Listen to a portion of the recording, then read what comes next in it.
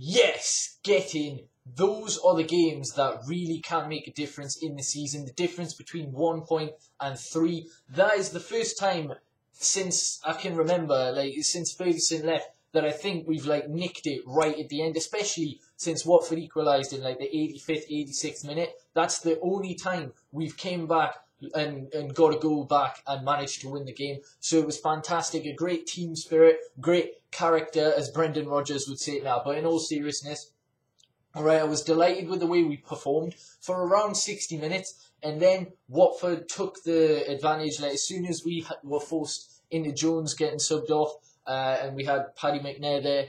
They they managed to create a lot of chances, and credit to Watford. All right, they didn't sit back. They weren't one of these teams that literally sit ten men behind the ball and just let United do their passing. They actually played a high pressing game, and it made for an entertaining game of football, particularly in the first half, because there was a lot of mistakes made by both sides. Because when you're high pressing, you're under pressure, you've got to make a decision, and there was a lot of interceptions being made for both sides, particularly us in the first half. Though we did play very very well.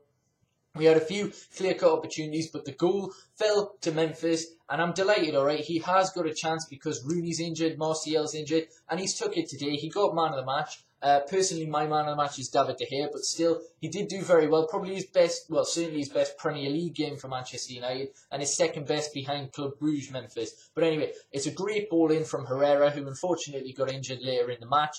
But it's brilliant ball, and it's it's it's a striker's finish. Really, it's just a, a well placed volley. All he does is literally takes the power off the ball and guides it into the top right. A brilliant goal. And from then on in, I thought we would really kick on, but we didn't. We struggled to find that second goal. Watford, credit to them, they were great defensively, and we did snatch at a lot of opportunities, particularly in the second half.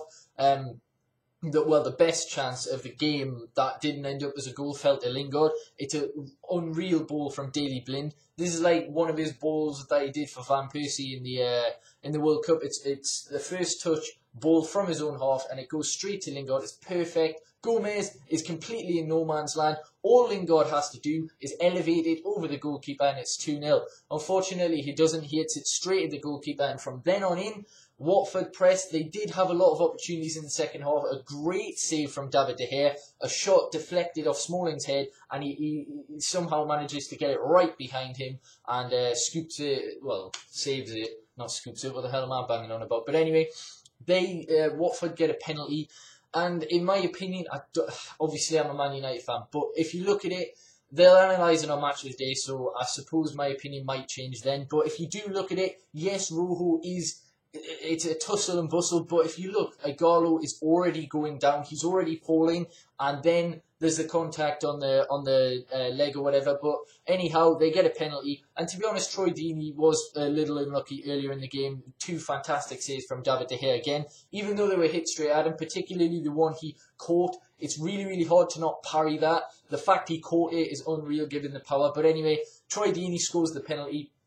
And that's the first goal we've conceded in 630 minutes. The last goal we conceded was a deflected penalty against CSKA Moscow, where David De Gea saves it and um, Doumbia just slots it in. So it shows that our defence is actually really good this season, and that's helped by Schweinsteiger and Schneiderlin being played in CDM roles. Schweinsteiger later on though, we actually show ball. We we go for it as uh, as Lou Van Gaal would say, we go for it. But uh, no, Smalling gets a back heel. It's a great save. It's a corner. Smalling back heels it and a great save from Gomez. But then we get another corner. Gomez again parries it, I think, and it finds its way to Schweinsteiger. Now it's going to be given as a Troy Deeney on goal because it isn't even on target. But I just wish it had been given to Schweinsteiger. I went mental because I thought it was Schweinsteiger's goal, his first for Manchester United. But the search keeps continuing. But I'm not bothered. I'm sure the team are going to be more delighted for the fact that we've actually gained the three points and temporarily at least we are top of the league.